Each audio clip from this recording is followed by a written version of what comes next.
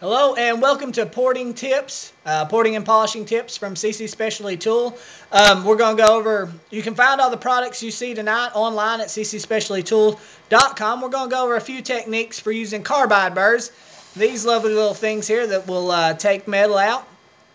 And uh, first thing here uh, I need to go over is what kind of motor you need. Now you see a lot of people using air grinders which have to work at a very high RPM we do not recommend that because this is aluminum that you're working on. You can see this cylinder head's had a rough life here, but uh, when you're working with aluminum running at a very high RPM, such as this, can actually start to heat up the aluminum. That was only about 20,000 RPM. The air grinders you can get up close to 100.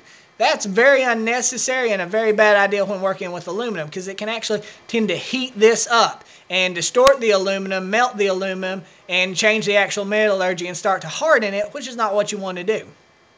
So we recommend in using motors like ours that have full torque at any RPM. I have the same amount of torque down here at a low RPM as I do all the way up here at full RPM and being able to use that entire range. We also use a foot control, which works very well at varying your speed with, you know, both your hands free. But anyway, um, having that control over the RPM and having that torque at any RPM really works out great. So let's go over a few techniques right quick here. Uh, this, as you can tell, most carbide, uh, carbide burrs are right-hand cut. So you'll actually do more cutting on the metal surface when you're coming against it in this nature. Now, when you're going back the other way, you're still doing cutting, but not as much. I like to keep the carbide burr moving.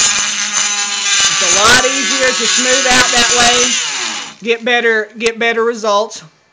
Uh, the other thing is I like to use um, a little bit of porting wax on this. You could see this at the first. It had a little bit of porting wax buildup. It just helps lubricate the uh, cutting surface, helps it move smoother. Another thing, uh, you may want to wear some glasses. Me and Blake always do that just for safety. Uh, you can find those at CC Specialty Tool as well.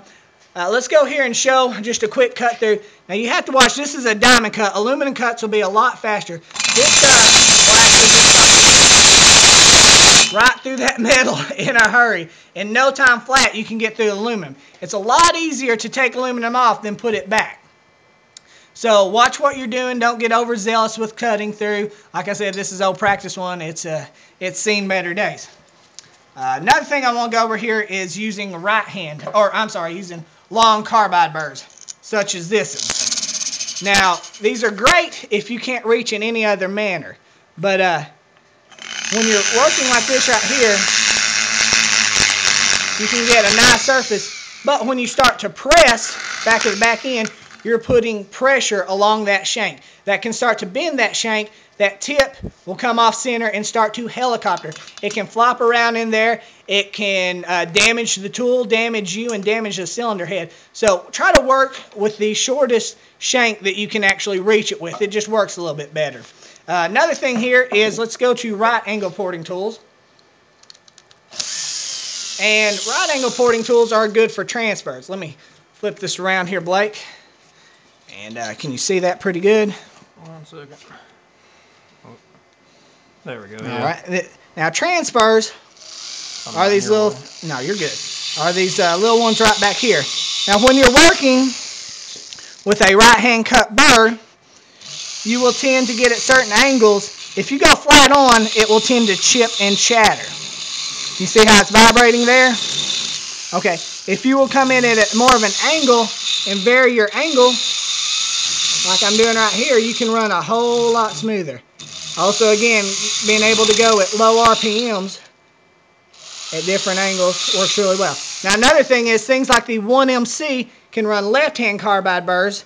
Uh, you'll find those online at ccspecialtytool.com, and they can get they're good for doing the contra angles, uh, like the ones that are kind of hard to pull against. I like to be pulling against the carbide burr as I'm running. Get a little bit better angle on this. I like to be pulling against it, it uh, against the cut of the carbide burr. It helps it run nice and smooth. Again, let the carbide burr do the work. Don't put as much pressure as you might think on there. Let the, let the tool do the work. Don't try to do it with pressure. Those are just a few quick tips that can help you when using carbide burr.